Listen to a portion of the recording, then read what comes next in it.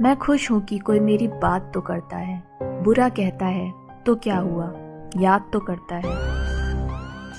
कौन कहता है कि नेचर और सिग्नेचर कभी नहीं बदलते? बस एक चोट की ज़रूरत है। अगर उंगली पे लगी तो सिग्नेचर बदल जाएगा और दिल पे लगी तो नेचर बदल जाएगा।